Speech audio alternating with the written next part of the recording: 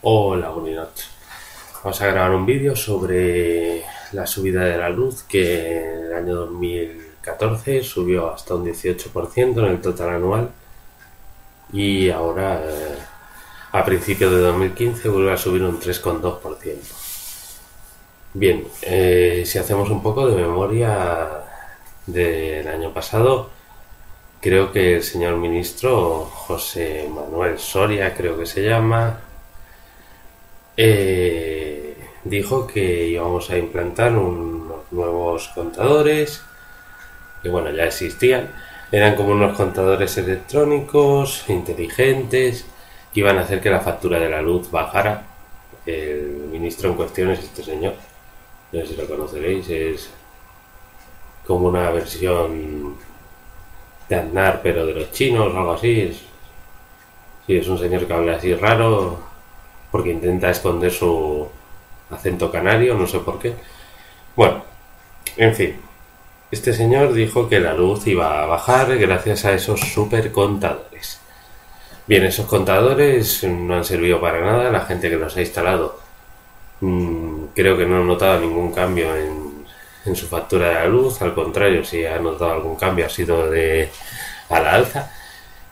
Y después de la denuncia de eh, los consumidores hacia esta subida, este señor lo único que se le ha ocurrido es decir que ha llovido poco y que ha habido poco viento.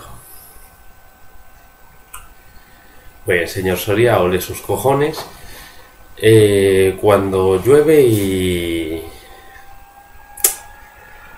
hace viento, usted mmm, no me baja la luz, no me baja el agua, no me baja el gas, que a lo mejor tiene algo que ver también con sus teorías del viento.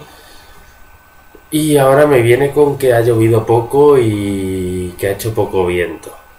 Bueno, pues yo este año me he despeinado bastante más veces que el año anterior y ha hecho bastante viento. Y usted sigue subiendo la luz. Y además la luz eh, no sube el, eh, el consumo, porque en una casa más o menos siempre estás consumiendo más o menos la misma energía. A no ser que haga un poquito más de frío, a lo mejor pones un poquito más la calefacción. Y el recibo sube y sube y sube gracias a sus impuestos y según ustedes porque le debemos dinero a las mmm, compañías eléctricas y, y la energía renovable es muy cara y las subvenciones y bueno, pues nada, habrá que pagar más de luz y habrá que pagar todo lo que ustedes digan. Y por supuesto no se le ocurra eh, hacer ninguna ley o no sé ni qué leches tiene que hacer usted, decreto o como se llame, para que la gente que está en pobreza energética eh, eh, tenga energía asegurada durante estos meses de invierno que son bastante duros para usted no, porque supongo que su casa tiene todas las comodidades pagadas por nosotros.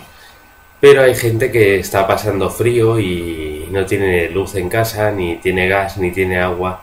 Y usted debería hacer algún decreto como han hecho sus odiados eh, homólogos griegos, eh, que han condonado la deuda, perdonado o, o paralizado la deuda de 300.000 familias para que durante el invierno puedan tener energía asegurada y no sean eh, pobres energéticos, que no sufran la pobreza energética y que no se mueran de frío, que creo que debería ser básico y debería estar pagado por nuestros impuestos o por los beneficios de esas compañías a las que tanto le debemos.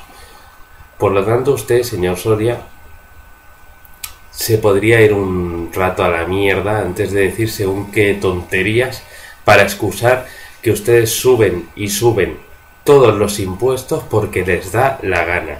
Y luego nos dicen que la economía va de coña, sí, para ustedes. Para el pueblo la economía está hecha una mierda igual que el año anterior y el otro. Ustedes no han arreglado nada y ustedes no nos van a sacar de la crisis. Así que dejen de mirar a Pablo Iglesias, a Pedro Sánchez y miren un poquito más por el pueblo, dado que ya que le queda poquito en el convento, no se cague dentro y arregle algo, porque nos tiene ya un poquito hasta los cojones. Se despide Tano Tunindón, un abrazo para todos y especialmente para el señor Soria. Un beso.